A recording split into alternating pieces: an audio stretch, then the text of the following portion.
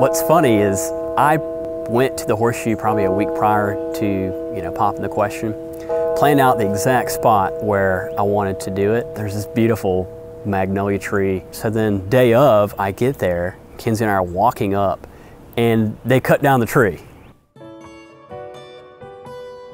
Brent and I met like three years ago and both of us knew pretty early on that this was gonna be pretty serious.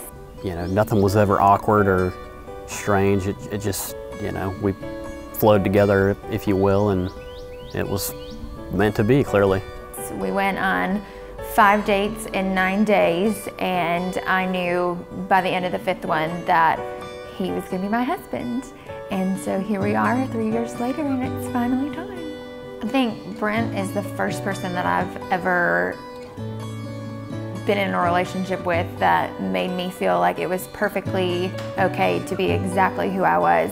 Both have got a very odd sense of humor, which, um, you know, I think we just complement each other with our weirdness, which is kind of strange to say, but um, we just click. I remember the first time that I brought him home to meet my family.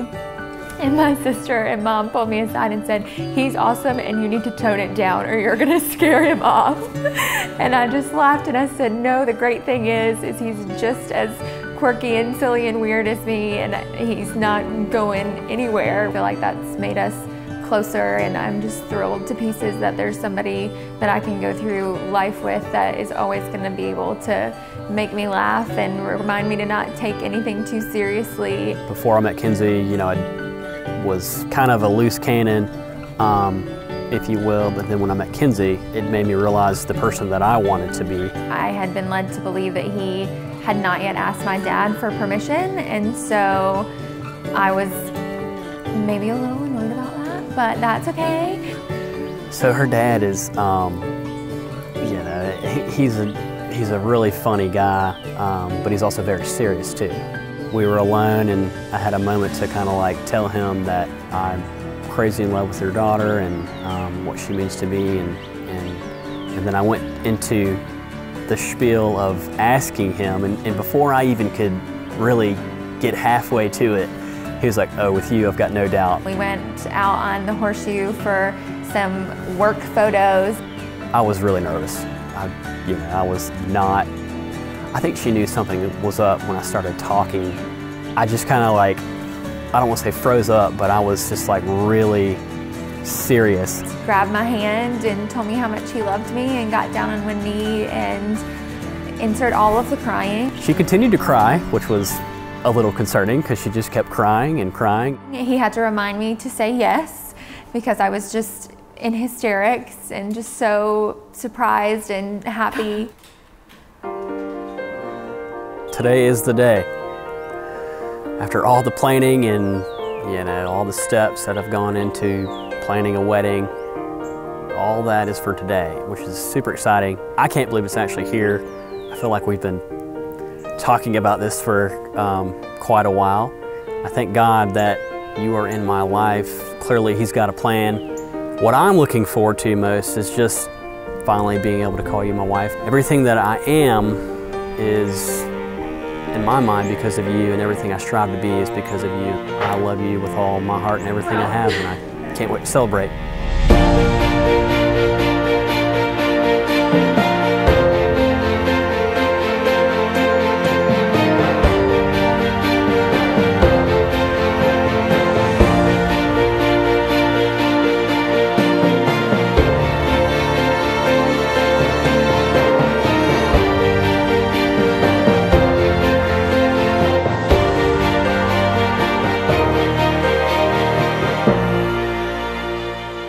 Have fallen in love with each other to such an extent that you want to spend the rest of your lives together till death us do part. So there's a rule, it's a command. Let us love one another.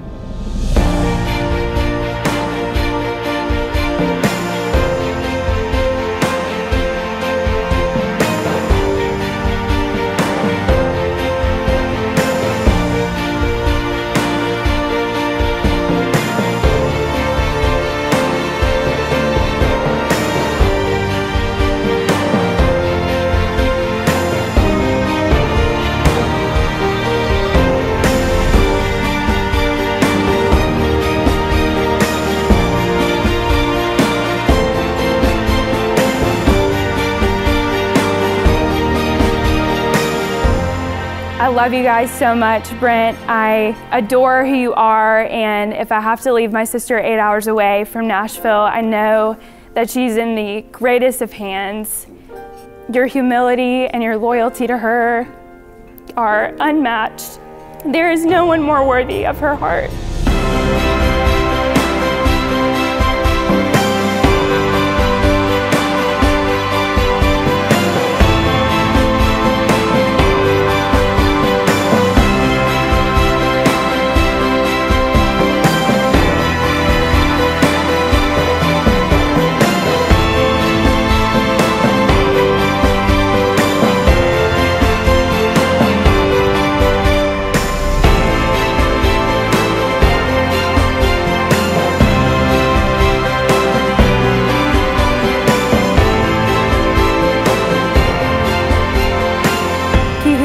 Wife finds a good thing, and um, Lord knows you found the very best.